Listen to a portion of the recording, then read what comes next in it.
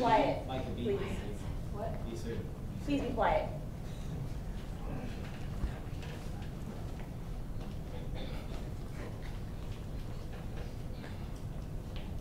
Eight, seven, five, four. Good evening. My name is Amy Tan, And my name is Ada Burka. and we are here reporting for the High School Digital Workshop. Chinatown is a unique ethnic neighborhood in Chicago with lots of sights to see and food to taste.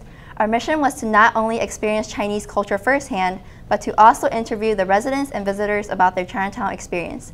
These people are drawn to this particular community because of various reasons, ranging from immigrants uniting with people of the same ethnicity to tourists admiring the curved pagodas.